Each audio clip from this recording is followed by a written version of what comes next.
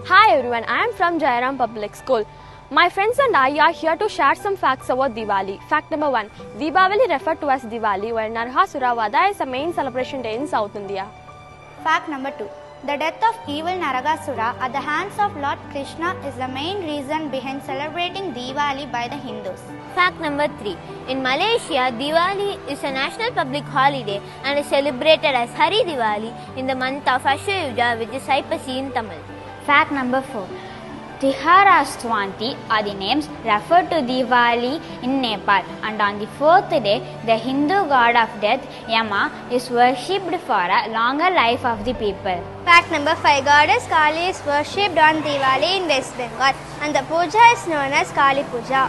Fact number 6. On Diwali, farmers thank their deities for the harvest they had and pray for a prosperous harvesting season in the upcoming year as it makes the end of the harvest season and the onset of winter. Fact number 7. There is unique traditional practices in Orissa where the people call upon the spirits of the dead ancestors. They burn jute stem to shed light on the dark path of the spirits on their way to heaven. Fact number 8. Gambling during Diwali is admitted as there is a belief that it brings good luck and prosperity in the years ahead.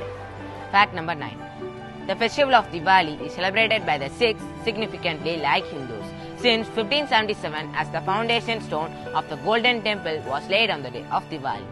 Fact number 10. Diwali celebrated to mark the return of Lord Rama after 14 years of exile according to the North Indian traditions by the Hindus. Fact number 11. Diwali marks the beginning of new financial year. Hence, traders and businessmen started by opening new books of accounts and offering prayers to the Lord Ganesha. Jairam. Public. School. Wishes you Happy Diwali.